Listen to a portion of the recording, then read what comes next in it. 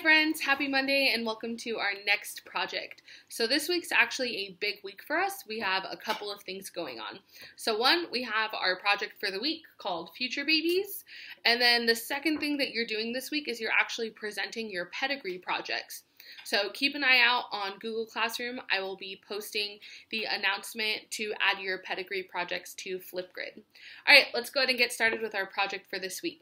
So, like I said, the title of our project is called Future Babies. If you're thinking, uh, Miss Tina, are we going to be making our own future babies? you're absolutely right. So, you all are actually going to be creating um, well, not creating, you're going to be figuring out what your future babies would look like if you mixed your DNA with another individual's DNA. This will be an imaginary person for our project. So, first of all, you are going to be using your worksheet from a couple of weeks ago, your My Traits inventory. So, remember My Traits inventory. So, all of the information on there, that's where you're going to find your genotype. So, it was super important that you completed that. That was lesson nine. All right, lesson nine is where you can find all of the information that you will need for yourself. And then the genotype for the person that you will be making a baby with is uh, this imaginary person's genotype is on your worksheet for this week. So for part one, uh, let's go ahead and jump into this. For part one, it says to draw a Punnett square. So I'm going to go ahead and I'm going to draw a Punnett square. Now it says um, you can do this on a piece of paper I'm doing this on my whiteboard, but you can do this on a piece of paper. It says to label it with the trait that you are doing first. Our first trait that we're going to be looking at is gender. So the first thing we want to find out is the gender of our baby. Is it going to be a boy or a girl? Now, step two, it says to notice the Punnett square um, on the worksheet. There's numbers inside of the Punnett square. You're going to put the exact same numbers in your Punnett square. So here I have a 1, a 2, a 3, and a 4. These aren't important right now, but they will be important later. Now, step three, it says to write your genotype at the top of this Punnett square.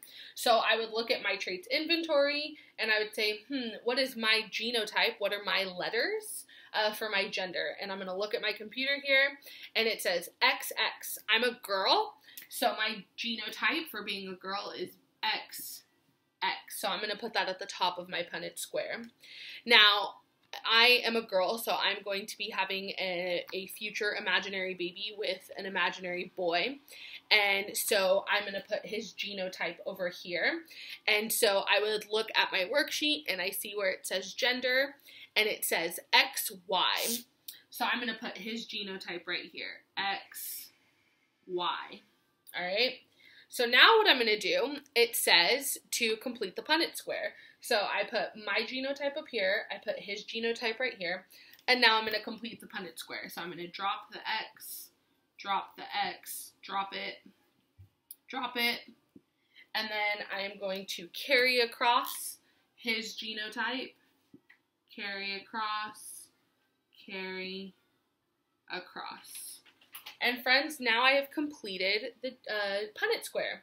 Now you are going to repeat this for all of the traits. So you're going to do a Punnett square for face shape, hair type, dimples, freckles, all of those, okay, on a piece of paper. Don't forget to label them. Now, once you've done that, you can move on to part two. So for part two, this is where the numbers are important. So it says, first thing is to grab a piece of paper. So I have a piece of paper here. Now it says to cut that piece of paper into four equal pieces. So I'm going to go ahead and I'm going to use the good old fashioned um, licking the paper method because why not? There's that. And again, now obviously if you have scissors, use the scissors. But I don't have scissors right now, so. Alright, great. So I have my four pieces of paper. Now it says on the first paper to write the number one. So I'm going to go ahead and do that right now. There's my one. On the second paper, write the number two. And then the number three. And I think you all can guess what's coming next. the number four. Great. So now that I've done that, it says to fold the pieces of paper into small squares.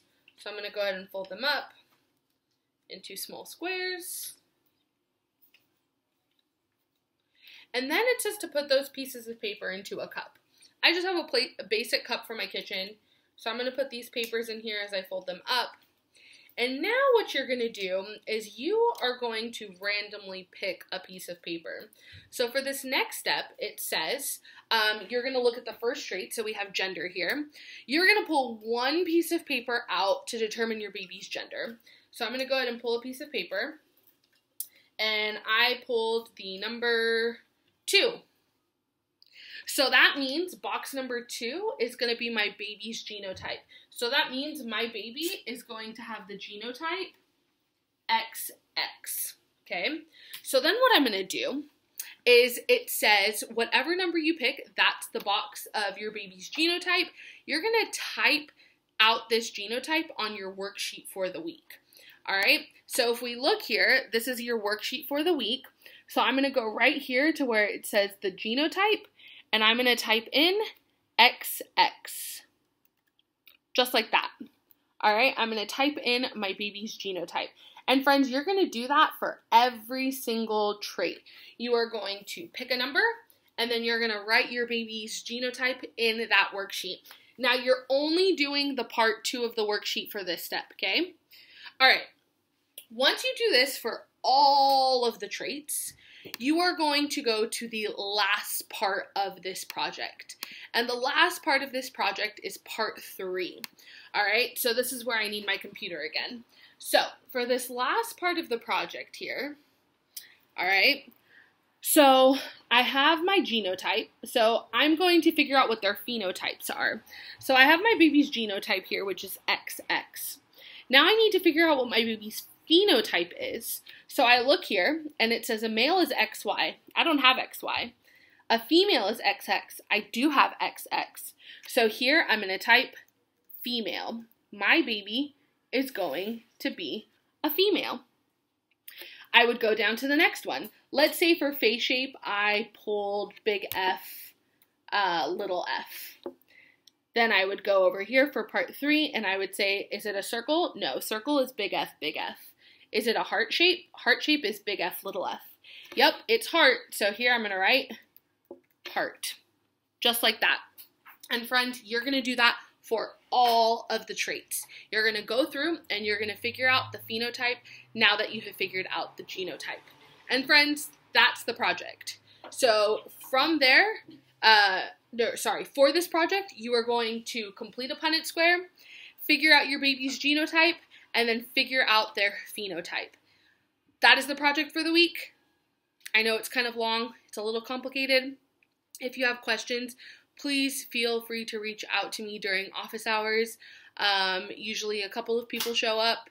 So, if you have questions, please feel free to reach out and ask. I am happy to help. All right, friends, good luck with the project, and I'll see you all later. Bye.